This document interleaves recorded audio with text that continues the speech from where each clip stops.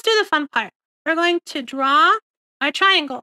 So we're going to GL, use program, shader program, uh, program, and we're going to GL bind vertex array, vertex array, our VAO, our vertex array object, and then we're going to GL draw arrays. So we're going to tell OpenGL that we'd like to use this program to draw everything.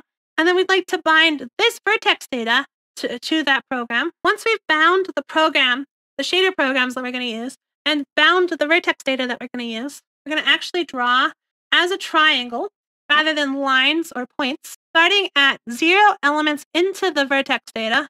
And we're going to uh, draw three elements of the vertex data.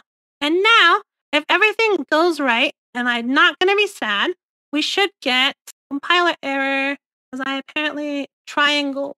I'm going to draw it as triangles, not triangle.